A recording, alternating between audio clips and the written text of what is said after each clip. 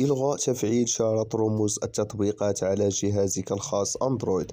اليوم سوف نتعرف على طريقة وكيفية إلغاء تفعيل هذه الميزة من خلال اتباع مجموعة من الطرق سوف نقوم بها للتعرف على هذه الطريقة على جهازك الخاص أندرويد سوف نأتي إلى الضبط أو الإعدادات نقوم بالضغط عليها.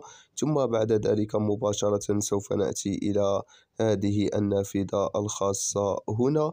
ثم بعدها سوف نأتي إلى الإشعارات نضغط على الإشعارات وبعدها نأتي إلى نافذة الإشعارات الخاصة في هذه النافذة.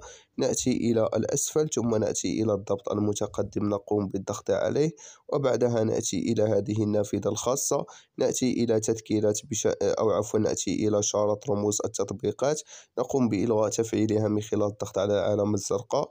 وهنا تم إلغاء تفعيل شارة رموز التطبيقات على جهازك الخاص أندرويد.